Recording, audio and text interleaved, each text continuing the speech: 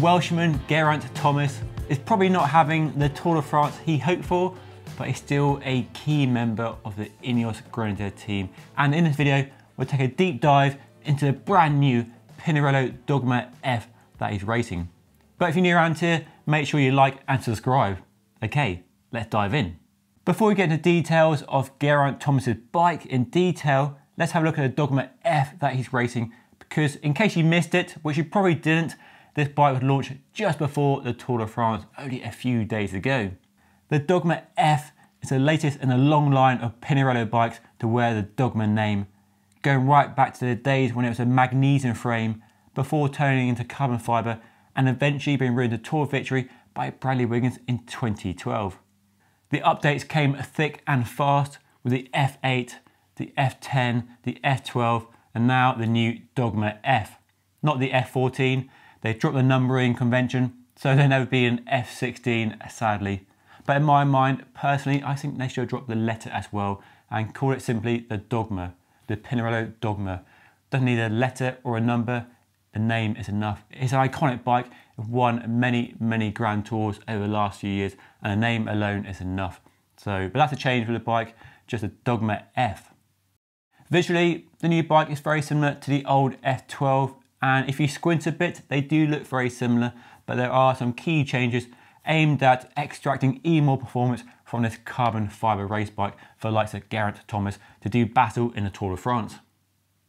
The frame set is claimed to be lighter but the frame is still around 860 grams for the rim brake version and 865 grams for the disc brake version. Most of the savings come with a new fork, handlebar, headset and 3D printed seat clamp assembly. The Dogma has always been fairly unique in the pro peloton in being one bike designed to be lightweight and aerodynamic, whereas other brands might have a dedicated lightweight bike and a dedicated aero bike, but that's starting to change like the Specialized Tarmac SL7, which is like a Dogma, both lightweight and aero. And the new bike, the new Dogma F, is of course more aero than the bike it replaces.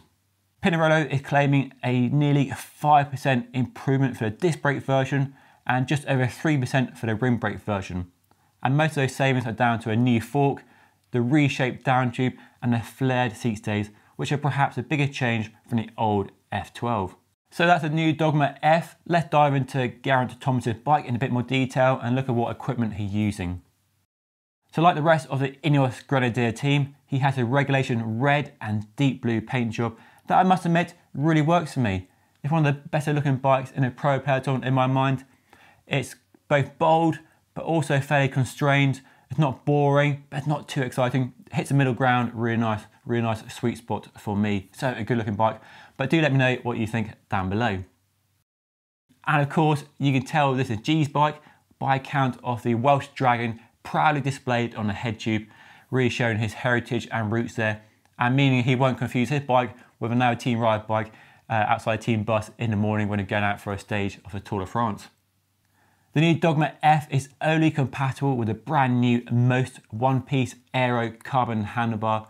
And while I'm not actually out at the Tour de France, due to travel restrictions and COVID bubble nightmares, I can't actually measure the bike myself or put on the scales. I can tell from previous bike checks I've done on his bike that he's likely using a 130 millimeter length stem. That's what he's used in the past, and I don't see any reason why he would change that.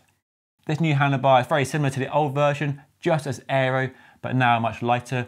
And as you can tell, all the cables and hoses are routed inside the handlebar, stem, and into the frame, except on the rim brake version, where the front brake cable goes outside because you can't put that inside the head tube and then into the stem would be impossible. So that's the only cable outside of the frame. Otherwise, they're all tucked away for clean looks and minimal drag. So we know the stem length and we know he likes it slammed, just a very thin spacer between the stem and the head tube, but otherwise slammed, no additional spacers, doesn't have a front end very high at all. And just look at how neat the bar tape is on this bike. Very, very tidy. A pat on the back for team mechanics for sure. The Dogma F has an aero seat post with an internal seat clamp and that's topped by a brand new 3D printed titanium seat clamp assembly which saves a chunk of weight over the old design. And on top of the seat post is G's favourite saddle for the last few years, the Fizik Arione. Now the Arione is a saddle that's been around for well over 10 years. It was a game changer when it launched with a really long design which now looks a bit long compared to the very short nose designs that are very popular, like Specialized Power, for example. So the Arione is a long saddle. It's the one he's always preferred. If you look back at his bikes over the years, it's always a saddle he's gone for. Nice length. Plenty of room to get right on the nose of a saddle when you're really going hammer and tongs. Uh, plenty of comfort at the back of the saddle as well. And it looks like he has the nose of the saddle slightly down, which I guess is personal preference for the Welshman.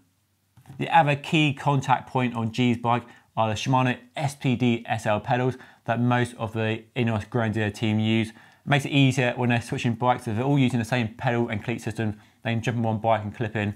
Although the saddle height is going to be an issue if G is jumping onto a, a smaller bike. He has a saddle height based on previous bike checks of 787 millimeters from the bottom bracket to top of the saddle.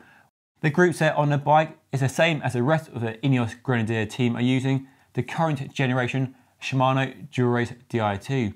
There's been no sighting of the brand new rumoured 12-speed group set that I had talked about previously when it spotted at a Belgian race on a DSM team bike, linked to that video up above, where we got a first glimpse of what appears to be the next generation Dura-Ace group set. But so far, I've not seen any sighting of it at the Tour de France and none on a Team Ineos Grenadiers bikes and certainly not on Geraint Thomas's bike here. So current, tried and tested. If it ain't broke, don't fix it. Dura-Ace Di2 with a few detailed changes of note. So we have a dual-sided power meter which connects to his Garmin Edge computer on an out front mount on that most handlebar. And then for chain rings, he has a rather meaty setup of a 54-42 setup, which I guess is for the flatter stages of the first week of the Tour de France. And I'm presuming that when it hits the mountains, he'll switch to a more conventional 53-39. And his cassette will either be a 1128 or an 1130, probably dependent on the stage, where it's flat or where it's hilly, and what he thinks he needs and what his personal preference is for gear ratios. And the other big detail change on this bike, of course, is their use of rim brakes, whereas the rest of the peloton, the rest of the World Tour teams in this year's Tour de France have switched over to disc brakes. But Team Ineos Grenadiers are sticking with rim brakes. I'm sure they have their reasons. They're all about marginal gains and deal with testing. I'm sure they have their reasons. I'd love to know the actual reasons and not the rumours that are swirling around the internet around why they use them. But they're using rim brakes. I'll leave it there. I won't go into a disc brake versus rim brake argument because we all have our sides here, clearly, uh, as evidenced in my recent video, link above if you missed that. Now, the other big talking point are wheels, and we've seen Team Ineos Grenadiers switching wheels from their kind of sponsor correct Shimano Dura-Ace wheels to other wheels from lightweight, Aerocoach, and this season they're using Princeton wheels, a small US company that have a very distinctive rim shape, kind of wavy rim profile. That's very uh, reminiscent of the Zipp uh, sawtooth rim profile. You might see my review on those wheels linked down below. These are the brand new Peak 4550 wheels. These brand new wheels were released, announced just before the Tour de France at the same time as the Dogma F.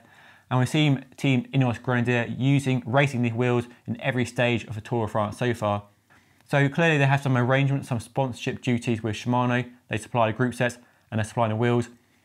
And I guess that's the reason why this bike has been pictured. This bike was supplied by a team, by a team mechanic for the photographer out there to photograph. But when it actually comes to racing, they're using those new Princeton wheels. So I'm not really sure on what's going on here, why they're showing bikes with Dura-Ace wheels and racing on Princeton wheels. It could be that each team rider has two or three bikes, their main bike and two spares on different team cars, depending on their status within the team. And this might not be his main race bike. This might be spare number two or three, and they don't have enough Princeton wheels to go on every bike, just their main race bike, and their backup bikes all have Shimano Dura-Ace wheels. Bit of a mystery around their wheel choice. I'd love to get a bit more explanation from the team themselves about their wheel choice and just understand the reason why they're choosing different wheels. And it really is a Team Sky Ineos way and goes right back to when they first launched 2010 when they used to put big black barriers around their bus to try and stop people watching their kind of cool down, warming up processes. They're very guarded, they're very secret. Um, a bit of transparency, a bit of honesty, a bit of information about why they're using different wheels would be fascinating to hear. I think we'd all love to know why they're using different wheels. It's clear from the rumours on um, the forums, on the internet, social media, that there's a lot of interest in the wheels they're using. And who thought wheel choice would be such a fascinating, interesting tech observation on a pro bike piece? And the other observation around these wheels, I know we're still talking about wheels here, is if you look closely at the hubs, you can see Geraint Thomas has his name sticker on the hub. So clearly each rider in the team has his own allocation of wheels, which seems a bit odd since they're all using the same bikes and the same wheels, that each rider has his own allocated wheels. I guess it could be personal preference, maybe over tyre pressure, the way the wheels are set up, different cassettes perhaps, or maybe it's just easier, team mechanics have these wheels allocated to this frame and this rider rather than a mix and match. So that has been a deep dive into Geraint Thomas's Pinarello Dogma F. I don't know how much it weighs because I'm not actually at the Tour de France. Uh, maybe let me know what you think the bike weighs by leaving a comment down below and I'll try and get somebody to weigh it for us out there. But going into details about the wheels, the group set, his personal preference for contact points like saddle and pedals and so on. Um, a pretty good looking bike I think, but what do you think? Let me know by leaving a comment down below. But that's all for now. Thank you so much for watching. Don't forget to like, subscribe, follow me on Instagram and Twitter, and stay tuned for more bike checks from the Tour de France over the next few days. I'll see you again soon.